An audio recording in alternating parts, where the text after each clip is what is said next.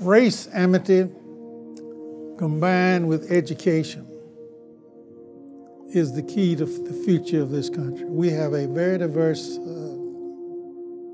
demographic situation in, in, the United States, increasingly demographic. And we have to know each other. We have to learn to live with each other.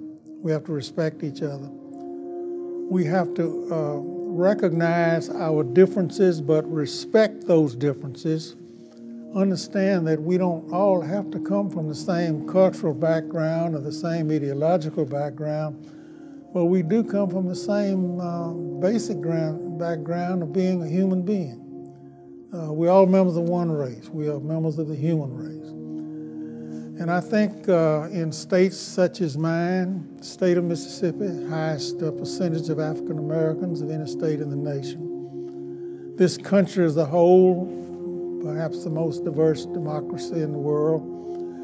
I think it is a key to our ability to exist as a great nation, where people understand uh, the diversity of their backgrounds and their race, but at the same time, the commonality of their interests, uh, the, uh, the absolute necessity of learning to respect each other and to know that uh, uh, out of that out of that understanding will come a relationship, a, a total human relationship that will put down so many of the biases and prejudices that we are still afflicted with. This country is too rich, it has too many great resources, too many great people uh, to be handicapped by a continued uh, uh, racial bias.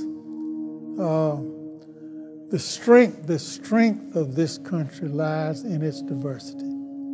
And I think it's a key to our future. And, I, and, and a younger generation must learn that. And, and, and race amity is at the background, is at the very base of accomplishing that result. And unless we accomplish that result, we're not going to be as great a people as we ought to be.